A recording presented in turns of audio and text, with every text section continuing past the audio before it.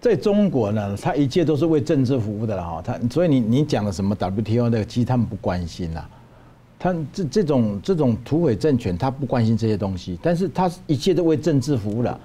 其实我我我的解读是，突然搞这个是第一，他要卡赖清德的二零二四，嗯，造成一种舆论嘛哈。第二是他真没钱了，嗯，他的外汇真的压力很大，是，所以说，我中国我说过啊，中国人吃的东西很便宜嘛，他们在中国吃的一般什么养殖鱼类嘛，什么无锅鱼啦，什么草鱼那个，市面上的价格在六七块钱一公一斤呐，台我说人民币啦，对。但是我们我我昨天前天在那个这个正好盛好鱼的节目遇到那个陈启仲主主委嘛，他说我们那个五仔鱼哦，池边的批发价就在两百多块了哦，一公一公斤两百多块，那一斤就一百多块嘛，所以一斤也就是说池边价就三十几块人民币，是送到中国去，那一一公一斤不是要卖你一百块？嗯。所以政府已经觉得说，我不需要把钱用在这这方面了哈，就太浪费这个钱了。其实，他挡你这个，他会他他希望形成一个以商逼政。他觉得说，哎，农民会觉得说，你看都是你民进党执政哦，你赖清德要上来哦，你赖清德说你是是那个台独的政治工作者嘛，他就说，所以呢你被禁。他以为台湾农民会把这个怨气转到执政党去了哈。但是我认为他这个说法是不了解台湾的民情了哈。我认为台湾人，因为南部南部农渔民都是本省的嘛哈。是。台湾人是一是一个什么样的民族呢？是一个重视耻感文化的民族，有羞耻心的民族，不打扰别人的民族。我们是一个反躬自省的的人啊，所以一般人不太会去就是说哦，他也很知道这个事情早晚要来的啊，是不是？戴完南宫哎，站着赚钱呐，我不要跪着赚钱了哈。你一把刀一把剑天天垂在我前面，我知道它会掉下来啊。它什么时候掉下来我不知道，不如你早点掉下来。嗯，可以给我死心了。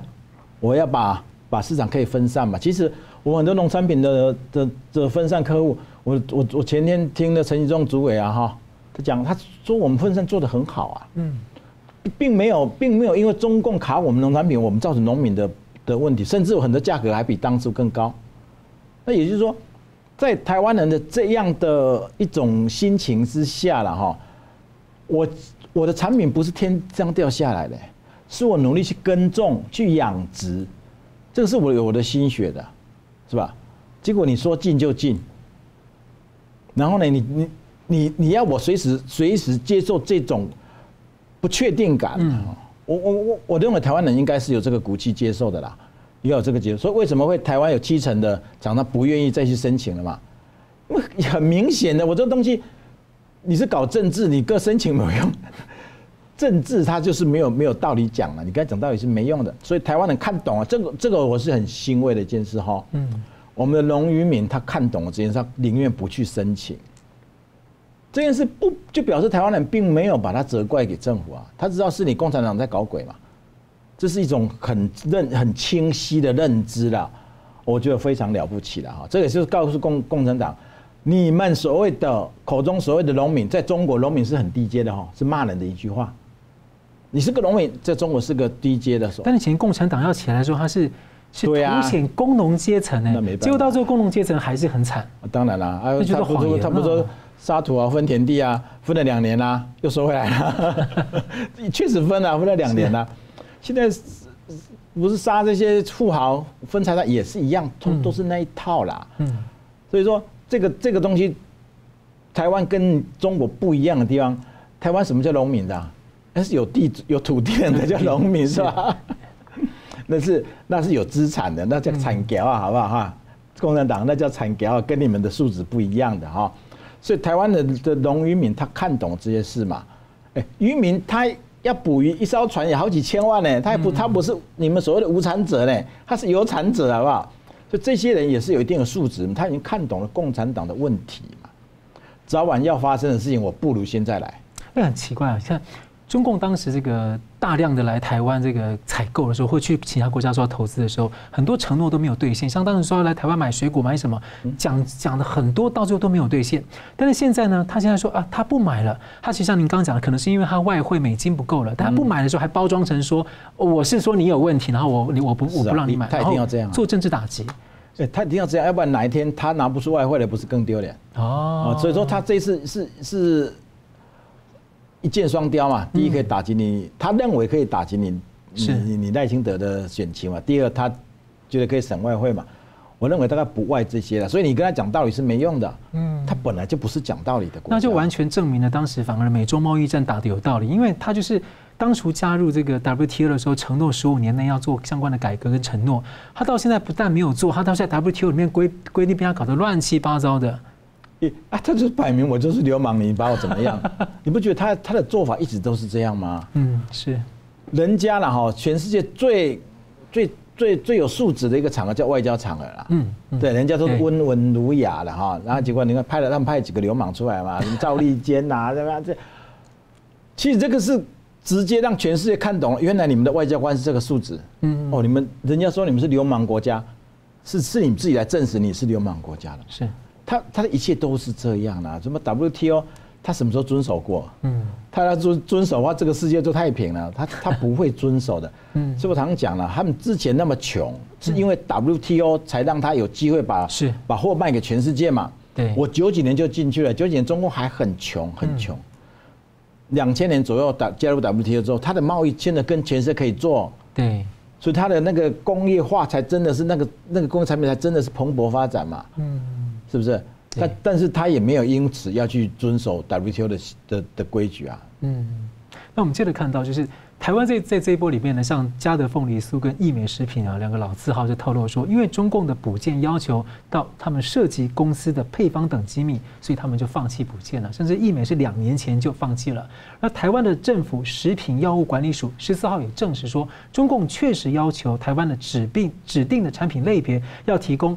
原料配料在产品中的占比啊，要提供产品生产加工工艺哦，以及厂区平面图与车间平面图等资讯，也在台湾不在大陆，无关公共安全，这合理吗？再来就是说，中共其实长期以来就很为人诟病的，就是他施压要求外商提交机密哦，也有一些国际企业疑似遭到骇客攻击窃取机密，结果不久之后呢，招牌产品。招牌的产品就突然间由中国大陆的竞争厂商，然后呢以低价仿冒在国际跟他竞争，有大厂就这样倒掉了。那台湾的农渔业者也有养殖技术、水果农产的接枝的育种技术被弄到大陆去了。我我记得我在大概二十年前的时候，其实台湾想要希望大陆，因为那时候 WTO 承诺这个呃智慧财产权啊、专利权的相关的保障啊，甚至育种权等等，希望那个台湾农民可以过去这样子，然后一起发大财。结果反而是。大陆拿了台湾的东西之后，反过来低价跟台湾竞争，所以我想请教您，这个怎么看？说，呃，怎么看这样的一个现象？特别是刚刚居然要求厂区平面图跟这个原料占比，这这是合理的吗？当然不合理啊！但是这个这个事情不是他们一直在做的事吗？说科技业，他就是说我要市场化你的技术嘛。对，这个他们已经搞了很多年，也不是今天开始搞的，搞了很多年了。可笑是我们台湾的农业了哈。当时很多人到海南岛去，海南岛去农农农民很多人去海南岛，是，然后在广东、广西这边很多台湾人去了哈，把所有技术都带过去了啦。中国奇怪，中国水果都很小，嗯，我不知道你们去过中国没有？它水果都很小，但我就觉得那时候觉得台湾的水果都这么大、那么漂亮、那么好吃，为什么中国那么小？后面发现，哎，中国怎么在长大？它 水果原来是台湾人把技术带进去了，嗯。我可以跟您讲了哈，台湾进去搞农业没有一个成功的，一个都没有啦。做工业还有很多人成功哦，哈，农业没有一个成功。我我也认识一些啦，认识一些人啊，最后都是晚景凄凉。技术被人拿被人家拿走之后，你说你跟他租这个地，他说我租二十年，没有，随时把你收回去嘛。他们讲没关系啊，他把我收回去，他要补偿我呀，没有补偿过你一毛钱。所以说，台湾人在这个农业上吃的亏哈。台湾一般人可能不知道，他们一一般人以为说只有说工业上吃的亏，其实农业吃的亏才大。但是，一般一般那些老农，他会他也不说啊，是吧？他不会，台湾人爱面子嘛，不会跟你讲我是中工，我我中国中国亏惨了。但是这个事情确实中国人的逻辑就是这样，你要把东西卖给我，技术要一起给我，这个是他们一直为什么称为流氓国家就是这样子啊。但是美国人不就是因为这样才开始跟他对抗的吗？嗯，但是台湾人一直没有这方面有组织的一些行行动了哈。我认为台湾的政府对这一方面可能是有一真的是有一点点不够严谨了，不够严谨。真的，你让这些技术一点点流流流光了哈，那未来怎么办呢？对，我现在听到我们的很多农业技术变成我们的低价被他们竞争，反而压力很大。嗯。很简单的道理嘛，中国的农产品那么便宜啊，我刚刚讲过了，那个鱼的东西嘛，哈，水果的东西，中国水果很便宜啊，为什么？因为中国人普遍还没有达到吃水果的习惯啊，因为还在温饱阶段的人，有啦，有人会买水果，但是不像我们台湾，基本天天家里全民都在吃水果，天天都要吃水果嘛，不一样，那个概念是不一样的。你说那些打工人一个月会吃过一次水果吗？很少了。而且从台湾把水果卖过去，加上层层剥削，加上这些关税种种，卖的实在是真的是很贵的，也不是一般人吃得起的。哦，啊，是，所以就他这个时候顺利顺利把你把你封了，因为他会他也不愿让你发现啊，原来我他中国人也吃不起了。嗯，我一直讲中国其实只有十四亿人口了哦，真正能够有消费力的，我认为不到一亿啦。以前我认为大概一亿了，有消费能力了，现在我认为大概剩下五千五千万不到了。因为这一波把经济打下来之后，绝大部分人现在的状况是很惨烈的，很惨的。加上房地产，你也知道吧？是，房地产现在垮垮的一塌糊涂。对，最可怕的就这这两三年内买房的人是最最可怕的，因为他没有想到房地产跌了之后，他是付的首付了哈，说交过已经交了那些贷款了哈，嗯，加一加，不到他剩余的价值嘛。是，所以。太多人在断供了，这个是很真的是很，这个不是说我们，这个是真的真的太多中委很多很多很多朋友在断供。对，他不像美国，他断供了断就断供没事，断供了政共产党还要把你拍卖之后还说，哎，你还欠我两百万，我已经交了一百万了哈，然后又又又又按又又那贷款了几年，交了几年贷款，他现在说剩余的把你拍卖之后，你还倒欠我两百万，我之前已经花了一百多万，所以。我什么都没有了，一来一往，我可能亏了三百万，房子也没有，什么都没有。这个国家走到这个阶段，其实坑杀的都是中产阶级的。说真心啊，农民也没有多少钱让你坑杀。是，他他们他们所有的目标都都放在中产阶级嘛。嗯。中国基本上，它地方财政百分之四十靠卖地啦，百分之四十哦。现在地卖不出去啦，现在确实到处的地都在流标。然后人民也不敢，你你再怎么忽悠他的，现在他是开始减建立降利率，你知道？中国利率很高哦啊，我们台湾可能买个房子利率可能两趴哈，嗯，他们至少是六趴吧？哦，这么高？哎呦，六趴算低了，民间贷款都十几二十趴。哇，在中国借钱，民间贷款至少都十五趴。但国际利率现在走那么低，它对啊这么高？它就是这么高啊！它除了它，除了它现在全世界在升利息，它在降利息嘛？因为它以前太高了嘛。是。那以前中国经济还可以承受得起这个利率嘛？嗯，而且中国人很简单啊，他认为说这个我这个房子买来不一定要住啊，它会涨价嘛，所以高一点利率他可以接受。但是当这个房地产整个崩塌之后，他就再也没有没有没有人能承受得起的。所以我说中国是个系统性崩塌的国家，它崩塌下来是各行各业都在崩塌。但它其实房地产的这个崩塌的这个危机，其实我们很多很多年前就各界都已经在讲一定会崩塌，为什么还会让它烧成这个样子？因为中国人不相信啊！哦，我在中国跟很多朋友讲，我说我三年前就跟你讲，你们要小心，要很小心，你们会迅速返贫。嗯，其实中国人不相信，因为他没有经历过这些嘛。是，我也我我光我刚刚在在微信上讲说中国的房地产要崩塌，讲了三三年到五年，没有人相信啊。那现在真的崩下来了。中国是一个很好忽悠的的人群啊，为什么没有自由媒体看不到消息？因就是因为这一群人太好忽悠了，所以共产党为什么可以可以可以这样堂而皇之执政嘛？他用大他用大内宣随便一一宣一宣传，人民人们就跟着就跟着附和了嘛。所以中国现在你看，他们每个人说哦，结婚一定要买房子嘛哈，什么丈母娘的买房买房子是个。哎这东西宣传几年啦，大家都很清楚啊。其实我我我我相信，现实生活中，我中国的朋友啦，经济稍微好一点的，人家没有人在拿彩礼的啦，嗯，根本就没有，都都是政府在那边宣传的嘛，呃要彩礼，要房子，要车子哦，逼着你年轻人去消费嘛。所以这个这个这一切哈、是共产党他们的整个宣传，他们是有一整套计划的。对，他的官方媒体其实中共控制又审查所以这个东西如果他要他真的要改变一些事情，他可以去做，但他没有做，他还去让那个东西一直被扩散，说那样的风气一定要买房等等等等的。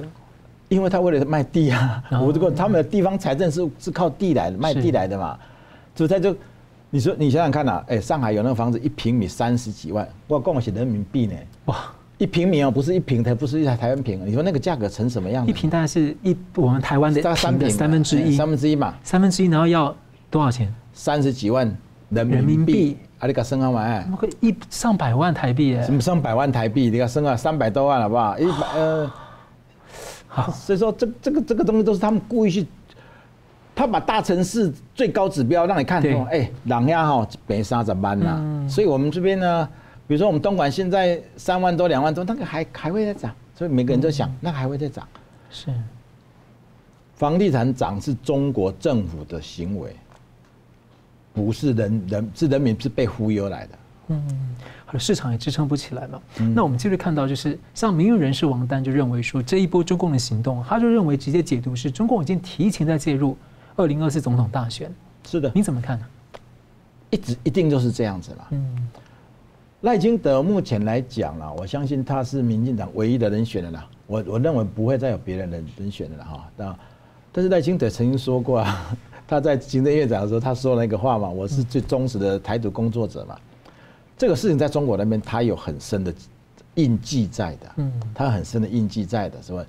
所以说他已经开始在打赖清德，而且赖清德出来说我要选党主席了嘛，这是表明你已经宣誓选总统了。是他开始要打你，但是他，我昨天才在政委节目讲讲说他不播啦，他已经没有招数可以用的。我觉得这招很 low 啦，说实在很 low 啦，因为我觉得说，我我刚刚讲过了嘛，台湾的农民又不是那么那么那么傻的人，他知道冤有头债有主嘛，谁断我的产品，不是赖清德断的啊，是吧？他以为就像中国一样这么好忽悠，哎，我跟你讲啊，都是因为你啊才害的什么什么，不会的啊、台湾人是会去找那个根源，这就是这句话，冤有头债有主。嗯所以他这个事情，我认为做的不漂亮了。所以也就是说，他已经没有一个，他找不到方式去做。你不觉得共产党对台湾其实他没什么招数吗？除了超限战了哈，他确实收买了很多人了哈。我再讲一下啦，我再讲一下，最近很多民进党的人被收买，对不对？我不讲谁了哈，大家都知道嘛。为很多人，因为很多中国朋友问我，哎、最近为什么民进党那么多人被收买？我说很简单啊、国民党亲共大家都知道，好吧？因为这种事情大家已经都司空见惯了。我再收买两个、三个民进党的，而且还是比较有那个的哈，什么什么什么什么什么是哎不说了，就那几个，你也知道嘛哈，就是民进党最资深的人，很有效果的，很有效果。这次打学历打什么的，你不觉得效果出来了吗你？有听过学者说，这个其实中共他买啊，是两个阵营，他对任何国家两个阵营都去买，然后呢，让他去制造分化。这个是没有错的，但是以前民进党没有看到谁被买啊，这两年开始有了嘛。那么这些人突然变得是民进党很资深的人啊，突然讲那些话，是你想象不到的。那以前没有没有民进党被收买啊，现在好像我我是认认为啦，这个这个是一个战略啦。反正我再收买一百个国民党，效果不没有买你一个民进党的效果好了。所以这一次大选输成这样嘛，各种可各种原因都存在了，都存在了。超限战人家真的打是一流的。那我想进一步请问一下，因为我记得呃赖清德他说他是务实的台独工作者，但其实从某种程度上，其实他稳住了台湾的独派，因为他说的是中华民国，他是他是可他是可以接受中华民国，因为以前的独派是要台湾共和国，但是赖清德讲说中华民国他可以接受之后，其实对很多人来说，很多台因为很多独派相信他嘛，所以其实民进党政府反而可以往中间路线靠，能够稳定这样的力量。所以照理说，他还讲讲过说亲中爱台，他是反共，然后希望帮中国大陆民主化。但他一直说，哎，我是亲中爱台，就是说他认为是我是可以亲中国人的，然后爱台湾的，只是我们要帮助中国人民主化，他是这样的一种亲中啊。所以照理说，他这样的路线其实跟以前传统的国民党路线是在大方向上，其实是在某一个阶段，未来要不要两岸统一是另外一回事。但在这之前的话，事实上。等于是蓝绿河流啊，所以他这样打赖清德，不就等于说你台湾你任何人都是独派？我只能这么讲了哈，共产党他没有看懂了哈。嗯，我问你啊，要华独还是台独？如果让共产党选的话，如果你必须选一个的话了，当然他现在说华独、台独都属于台独了。嗯，你要华独还是要台独？共产党要选，他应该选台独才对啊，比较好打。不是比较好打？嗯，什么叫台独？台独我叫离家出走啊，我逮完是离家出走叫台独嘛。华独是什么意思？我还没有跟你分家，我还是用中华民国，我是要跟你要要要要来回来跟你争这个中华的逐鹿中原这样，逐鹿中原是，所以这个这个道理他不是他不会不懂啊，他怎么会不懂？中国人是很期待国民党，我我我我在中国认识很多很多人，那个叫国粉啊，就中华民国的那个中华民国派，嗯，他们是很期待国民党王师回归，嗯。所以说，你你如果你如果让台湾继续用华独的话，对对共产党的伤害比台独还要大。但是他没有办法，所以他把你两条路，两台独、华独一气归为台独嘛，这个就是这么简单的道理。就是法理上就一直提醒世界说，中华民国比你早存在，你才是真正的叛国者。对呀，是啊，这个就是，哎，中华民国的存在对他是有合法性的问题，是是吧？我中华民国一百一百一十几岁，你才七十岁，你还。你还你还说我不合法，所以你是有合法性的问题嘛？这个就这个他们最怕的，是其实共产党最怕这个，就他没有他没有真的很怕台独啦，但是他是境外势力苏共的这个共产国际。那我继续请教，就是其实中共这种技术性的贸易霸凌，其实我们看到这几年，特别是贸易战前后到现在，呃，对日本、对加拿大、对澳洲、对立台湾等等比较显著的哦。是。那更不用说以前长期那种要求交机密、要求交科技 跟各种的小手段，这是比较堂而皇之的这几个。再来就是对台湾，所以你觉得说他已经在这么多国家在 WTO 上对他要跟他算账，然后呢，他现在又对台湾这样做，您觉得台湾的政府跟业者啊，在应用上啊，我们如何呃能够？从治标或治本来说，有什么可以做的做法？你说去 W 去告了哈，告也是要告了，对，这是一定的，这这个程序是一定要走的嘛。但是也不用太多期待了。WTO 对中国本来就没有没有什么限制能力啦，就是这样才要 CPTPP。对嘛？所以说为什么为什么 为什么习那个川普，嗯，川普不是说那个 WTO 的的法官他一直没一直没派过去吗？这其实这个东西。大家都会都已经很清楚了，但只是大家都还活在这个在这个框架之下，很多人不愿意去打破这个框架。但是你要认清楚，共产党一定不会遵守这些东西的。他从加入 WTO 那天，他就没有想要遵守了，他也从来没有遵守过。但世界世界一直在妥协了，全世界都在妥协嘛，因为大家都觉得中国市场好大。其实这个事情到今天为止了哈，你看看日本人。日本人政府花钱让日本的工厂搬家，嗯，哎，日本人有没有魄力啊？日本人比我们台湾有魄力一百倍，就是从大陆搬回去这个日本，不是搬回去哦，是搬出中国而已。对，你只要搬出中国，你的搬家费是政府帮你出嘛？搬到第三地我也支持你。对，是这样啊，这个这个这两年的事嘛。嗯，但是你看韩国到今天，韩国到今天还在依赖中国，所以你看之前以。文在寅这五年来，简这简直是荒唐至极嘛！整个基本上把韩国卖给卖给了中国。